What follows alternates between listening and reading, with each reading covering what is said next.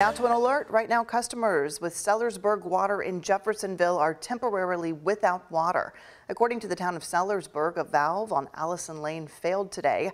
And due to the location, the only way crews could actually fix that valve was to shut off all service. You see there on your screen where the red area is, that's where homeowners are affected right now. Crews say that this will only last a couple of hours, but once service is reestablished, listen to this, you need to be on a boil water advisory.